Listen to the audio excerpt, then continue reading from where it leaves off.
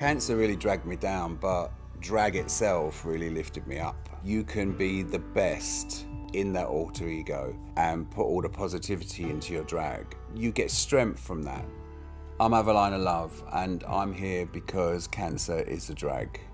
I was diagnosed in September 2010 with follicular lymphoma, stage four, unfortunately.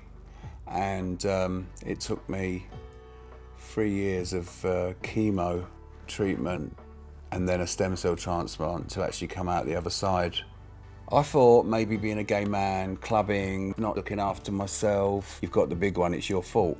But I was assured by everybody, all the, all the doctors, consultants, that it wasn't my fault. Cancer is cancer, it affects all of us. I used to go to the clubs and bars and I used to love the drag shows. And then I thought, well, why can't I do drag? Why can't I have some fun with my life? I've been through a really hard time.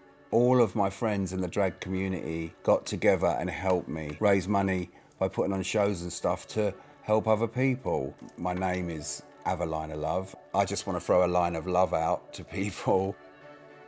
There's a lot more to cancer than the disease itself. The things that go through your head, like how am I going to pay my bills? Where's the food coming from?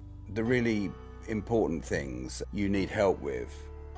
You know that your friends and family really care for you, but they can't really see what's going on inside your head. You feel really alone. You feel like you've lost your voice. You just feel trapped inside your own body.